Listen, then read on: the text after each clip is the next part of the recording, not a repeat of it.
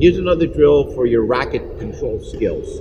Sadie and I are going to have a cooperative drill where we're going to hit the ball and try to make it bounce on the target. So you'll see how we do it. We're going to uh, do it with a regular Eastern forehand grip. Okay, here we go. Ready?